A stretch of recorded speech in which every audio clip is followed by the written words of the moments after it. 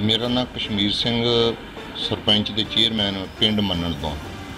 ਤੇ ਇਹ ਸਾਡੇ ਪਰਿਵਾਰ ਦੇ ਵਿੱਚੋਂ ਵੱਡਾ ਬ੍ਰਦਰ ਉਹਦੀ ਡੈਥ ਹੋ ਚੁੱਕੀ ਸੀ। ਇਹ ਦੋਵੇਂ ਉਹਦੇ ਪੋਤਰੇ ਆ।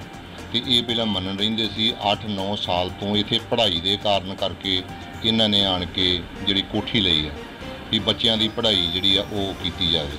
ਪਰ ਹੁਣ 14 ਤਰੀਕ ਤੋਂ ਜਿਹੜਾ ਵਾ ਤੇ ਉਹ ਘਰੋਂ ਸਵੇਰੇ ਜਿਹੜਾ ਵਾ ਤੇ ਚਲੇ ਗਿਆ ਵਾ। ਅਜੇ ਤੱਕ ਸਾਨੂੰ ਉਹਦੇ ਬਾਰੇ ਕੋਈ ਨਹੀਂ ਪਤਾ ਲੱਗ ਸਕਿਆ। ਪੁਲਿਸ ਨੂੰ ਵੀ ਅਸੀਂ ਇਤਲਾਹ ਦਿੱਤੀ ਆ ਤੇ ਪੁਲਿਸ ਵਾਲੇ ਵੀ ਚਲੋ ਜਿੰਨਾ ਕੁ ਉਹਨਾਂ ਕੋ ਸਾਡਾ ਸਾਥ ਦੇ ਰਹੇ ਆ, ਅਸੀਂ ਆਪਣੇ ਤੌਰ ਤੇ ਜਿੱਥੇ ਜਿੱਥੇ ਵੀ ਸਾਨੂੰ ਕੋਈ ਦੱਸ ਪਈ ਆ, ਉਥੇ ਉਥੇ ਜਾ ਕੇ ਅਸੀਂ ਜਾ ਕੇ ਜਿਹੜੀ ਆ ਤੇ ਵੇਖਿਆ, ਪਰ ਸਾਨੂੰ ਨਹੀਂ ਜੋ ਸਾਡਾ ਬੱਚਾ ਜਿਹੜਾ ਵਾ, ਪੋਤਰਾ ਮੇਰਾ ਹਰਕੀਰਤ ਸਿੰਘ ਜਿਹੜਾ, ਉਮਰ ਉਹਦੀ 18 ਸਾਲ ਆ ਤੇ ਕੱਦ 5 ਫੁੱਟ ਦੇ 5 ਇੰਚ ਦੇ ਲਾਗੇ ਆ। ਉਹ ਅਜੇ ਤੱਕ ਸਾਨੂੰ ਜਿਹੜਾ ਉਹ ਪ੍ਰਾਪਤ ਨਹੀਂ ਹੋਇਆ।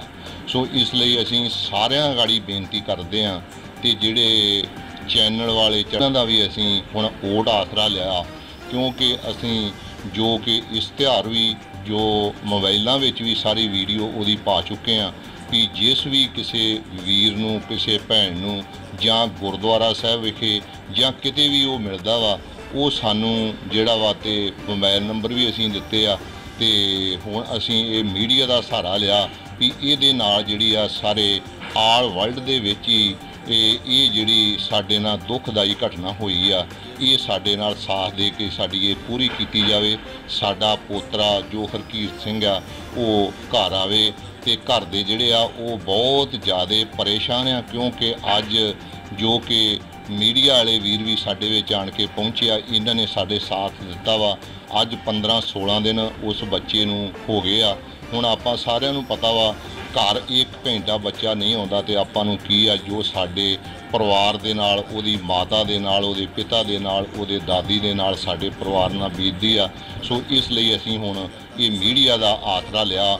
ਤਾਂ ਜੋ ਇਹ ਜੋ ਖਬਰ ਹੈ ਸਾਰਿਆਂ ਤੱਕ ਪਹੁੰਚ ਸਕੇ ਤੇ ਅਸੀਂ ਇਹ ਵੀ ਬੇਨਤੀ ਕਰਦੇ ਹਾਂ ਮੀਡੀਆ ਦੇ ਤੌਰ ਤੇ ਵੀ ਜਿਸ ਕਿਸੇ ਵੀਰ ਨੂੰ, ਕਿਸੇ ਭੈਣ ਨੂੰ, ਕਿਸੇ ਭਰਾ ਨੂੰ ਇਸ ਬਾਰੇ ਫੋਟੋ ਦੇ ਆਧਾਰ ਤੇ ਉਸ ਨੂੰ ਪਤਾ ਲੱਗ ਜਾਵੇ ਤੇ ਉਹਨੂੰ ਸਾਡੇ ਤੱਕ ਪਹੁੰਚਾ ਦੇ ਜਾਂ ਸਾਨੂੰ ਉਹ ਸੂਚਿਤ ਕਰ ਦੇ, ਅਸੀਂ ਉੱਥੇ ਵੀ ਪਹੁੰਚਾਂਗੇ। ਜੇ ਨਹੀਂ ਤੇ ਉਹ ਜੇ ਉਸ ਬੱਚੇ, ਸਾਡੇ ਬੱਚੇ ਨੂੰ ਲੈ ਕੇ ਘਰ ਆਵੇਗਾ, ਉਹਨੂੰ ਆਉਣ ਜਾਣ ਦਾ ਖਰਚਾ ਵੀ ਤੇ ਉਹਨੂੰ ਹੋਰ ਵੀ ਜੋ ਕਿ ਸਾਡਾ ਜੋ ਉਸ ਨੇ ਖੇਚਲ ਕੀਤੀ ਆ, ਉਹ ਵੀ ਅਸੀਂ ਉਹਦੀ ਜਿਹੜੀ ਆ ਸਹਾਇਤਾ ਕਰਾਂਗੇ। ਸੋ ਇਸ ਲਈ ਅਸੀਂ ਇਹ ਬੇਨਤੀ ਜ਼ਰੂਰ ਕਰਦੇ ਹਾਂ ਤਾਂ ਜੋ ਸਾਡਾ ਜੋ ਬੱਚਾ, ਮੇਰਾ ਪੋਤਰਾ, ਇਸ ਪਰਿਵਾਰ ਦੇ ਨਾਲ ਜੋ ਆ ਉਹ ਸਾਡੇ ਇਹ ਵਾਪਸ ਆ ਜੇ ਤੇ ਅਸੀਂ ਸਾਡੇ ਪਰਿਵਾਰ ਦੇ ਵਿੱਚ ਆਣ ਕੇ ਮਿਲੇ ਤਾਂ ਜੋ ਸਾਡੇ ਪਰਿਵਾਰ ਨੂੰ ਕੁਝ ਨਾ ਕੁਝ ਹੌਸਲਾ ਹੋ ਸਕੇ।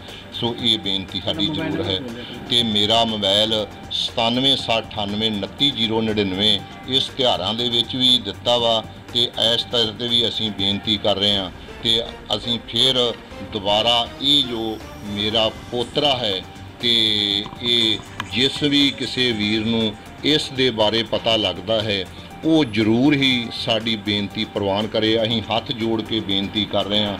ਸਾਰੀ ਸੰਗਤ ਦੇ ਗਾੜੀ, ਸਮੂਹ, ਜੋ ਵੀ ਵੀਰ ਭਰਾ ਸੁਣਦਾ ਉਹਦੇ ਗਾੜੀ, ਇਹ ਜਿੱਥੇ ਵੀ ਤੁਹਾਨੂੰ ਕਿਤੇ ਮਿਲਦਾ, ਸਾਨੂੰ ਜਾਂ ਸੂਚਿਤ ਕੀਤਾ ਜਾਵੇ ਜਾਂ ਇਸ ਬੱਚੇ ਨੂੰ ਸਾਡੇ ਤੱਕ ਪਹੁੰਚਾਇਆ ਜਾਵੇ, ਉਸ ਨੂੰ ਅਸੀਂ ਆਉਣ ਜਾਣ ਦਾ ਖਰਚਾ ਤੇ ਉਸ ਤਰ੍ਹਾਂ ਵੀ ਉਹਨੂੰ ਉਹਦੀ ਸਹਾਇਤਾ ਵੀ ਕਰਾਂਗੇ। ਸੋ ਇਹ ਬੇਨਤੀਆਂ ਜ਼ਰੂਰ ਸਾਡੀਆਂ ਜਿਹੜੀਆਂ ਜੋੜਾ ਵੀ ਵੀਰ ਸੁਣਦਾ ਹੈ ਉਹ ਪ੍ਰਵਾਨ ਕਰੇ ਤਾਂ ਜੋ ਸਾਡਾ ਬੱਚਾ ਸਾਡੇ ਪਾਸ ਆ ਕੇ ਤੇ ਸਾਨੂੰ ਜੋ ਇਹ ਦੁੱਖ ਦੀ ਘਟਨਾ ਵਿੱਚ ਜਿਹੜਾ ਵੀ ਕੋਈ ਵੀਰ ਸਹਾਇਤਾ ਕਰਦਾ ਹੈ, ਅਸੀਂ ਉਹਦਾ ਬਹੁਤ ਰਿਣੀ ਹੋਵਾਂਗੇ, ਧੰਨਵਾਦੀ ਹੋਵਾਂਗੇ, ਉਹਦਾ ਬਹੁਤ ਬਹੁਤ ਧੰਨਵਾਦ ਵੀ ਕਰਾਂਗੇ।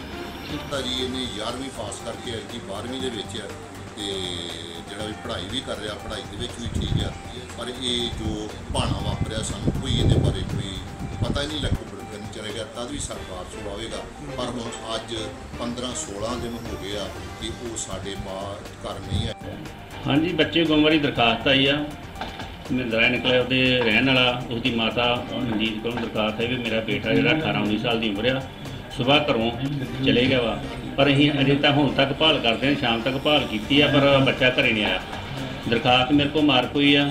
ਇਹ ਦਰਖਾਸਤ ਦੇ ਸੰਬੰਧ ਸੀਨੀਅਰ ਅਫਸਰਾਂ ਦੇ ਨੌਲੇਜ ਲਿਆਣ ਕੇ ਇਹਦਾ ਇਸ਼ਤਿਹਾਰ ਸਰੋਗੋਗਾ ਜਿਹੜਾ ਜਾਰੀ ਕਰਾਤਾ ਸਾਰੇ ਥਾਣੇ, ਜ਼ਿਲ੍ਹੇ ਦੇ ਥਾਣਿਆਂ ਨੂੰ ਔਰ ਸਾਰੇ ਜ਼ਿਲ੍ਹਿਆਂ ਨੂੰ ਇਸ ਬੱਚੇ ਦਾ ਸਰੋਗਾ ਇਸ਼ਤਿਹਾਰ ਸਰੋਗਾ ਜਿਹੜਾ ਤਿਆਰ ਕੀਤਾ ਗਿਆ, ਭੇਜ ਕੇ ਬੱਚੇ ਦੀ ਭਾਲ ਕੀਤੀ ਜਾ ਰਹੀ ਹੈ। ਜਿਹੜੇ ਜਿਹੜੇ ਨੰਬਰ ਉਹਨਾਂ ਦੱਸਿਆ ਗਿਆ ਬੱਚੇ ਕੋਲ ਨੰਬਰ ਰਹੇ ਨੇ ਉਹਨਾਂ ਬਾਰੇ ਵੀ ਪਾ ਕਾਰਵਾਈ ਕੀਤੀ ਜਾ ਰਹੀ ਪਤਾ ਕੀਤਾ ਜਾ ਰਿਹਾ ਵਾ। ਲੇਕਿਨ ਫਿਰ ਵੀ ਕਿਤੇ ਵੀ ਬੱਚੇ ਦਾ ਪਤਾ ਲੱਗਦਾ ਵਾ ਬੱਚਾ ਬੁਲਾ ਕੇ ਪਰਿਵਾਰ ਦੇ ਵੱਲ ਕੀਤਾ ਜਾਂਦਾ